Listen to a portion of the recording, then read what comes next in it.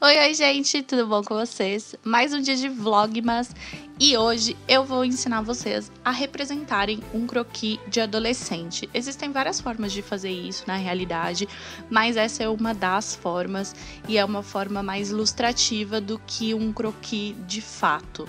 Vocês vão ver que a proporção vai ser bem grande, vai ser quase uma proporção humana, é, humana não, adulta, porém é com traços mais infantis, né? Com traços mais adolescentes.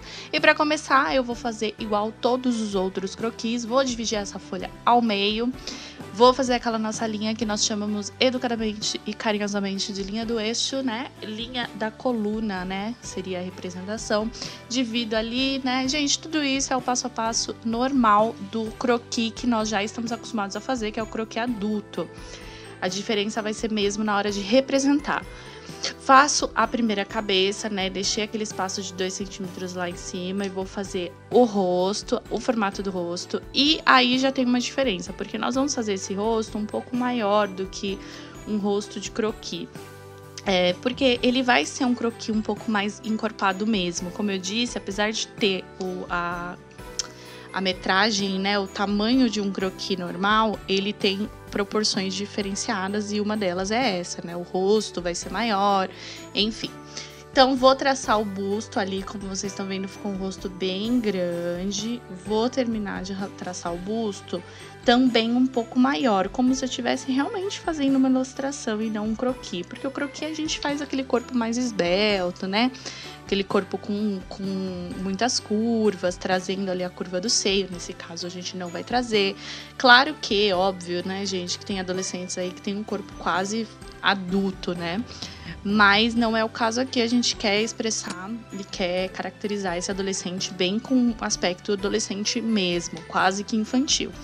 Então, vou trazer ali as pernas, tudo isso, se você não souber fazer, eu vou linkar alguns vídeos aqui que eu já ensinei, por isso que eu não tô passando passo a passo, milimetricamente, é, porque eu acredito que vocês já viram esses vídeos, se não viram, dá uma olhadinha é, eu já ensinei. Gente, se tiver barulho de cachorro latindo, de gente batendo na madeira, desculpa, mas é vlog, mas e a gente vai ter que fazer como dá. É, o meu vizinho decidiu o quê? Decidiu que em dezembro ele ia fazer uma reforma na casa dele. Pois é, bem em dezembro que a gente tem vlogmas. E é isso. É, não tinha outro jeito a não ser é, gravar esse áudio assim mesmo, com esses barulhos de fundo. Nem sei se tá pegando, mas se estiver pegando, eu peço desculpa para vocês. Então, olha só. Fiz todo o corpo dela e a gente já vê que é um corpo diferente do nosso croquis habitual, porque ele é um corpo um pouco maior, um, porco, um corpo um pouco mais proporcional, mais gordo e mais é, humano, ele não é tão croquis de moda. Vou fazer o quê? Um cabelão comprido nela.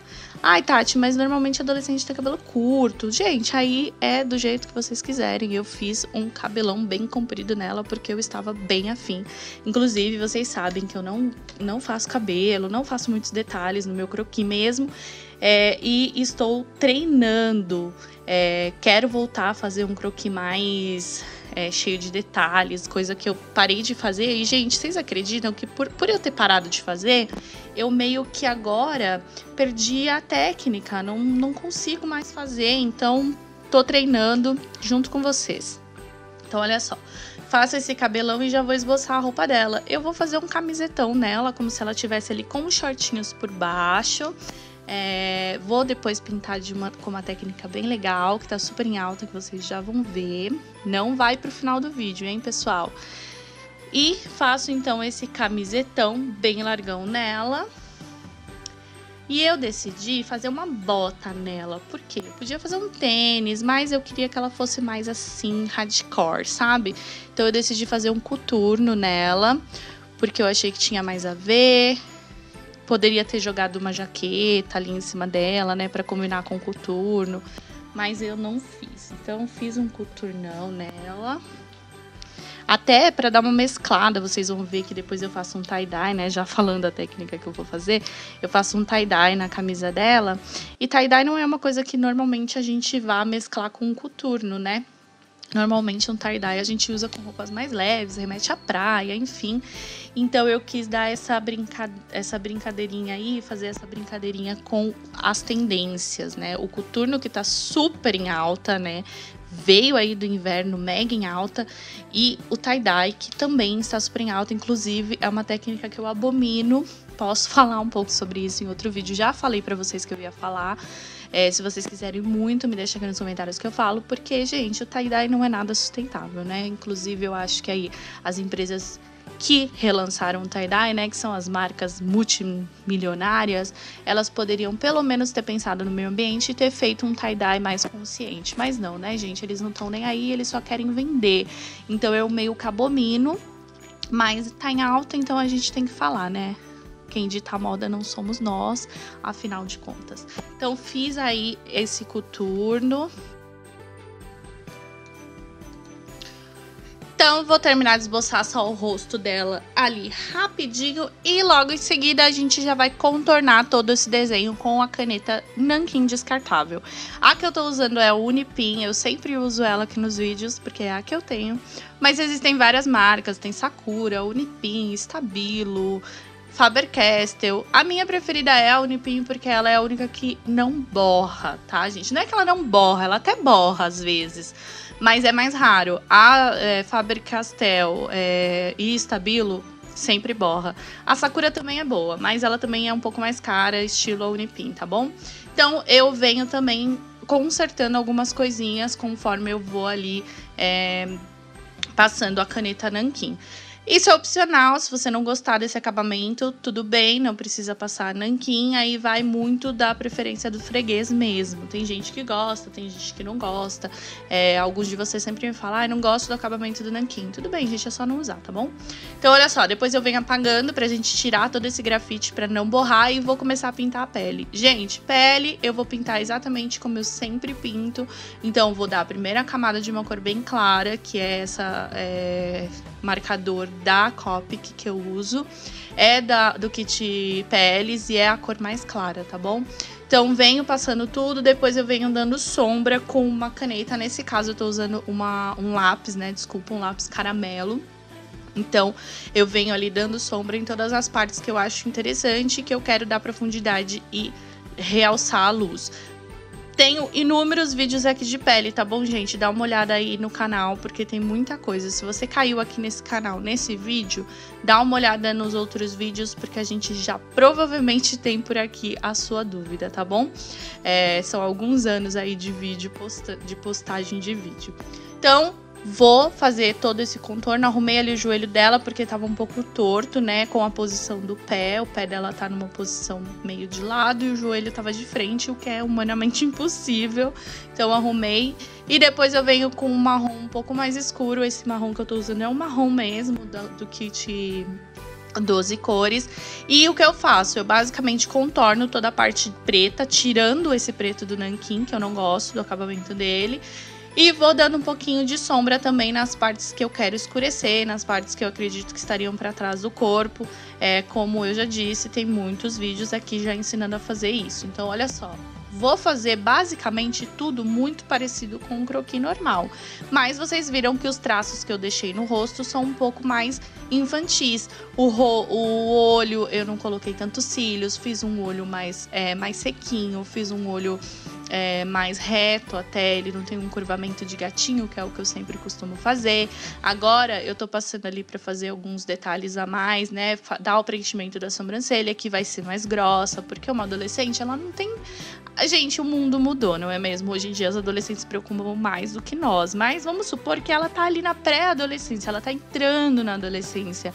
Então, ela não se preocupa muito se a sobrancelha dela tá grossa ou não ainda, entendeu?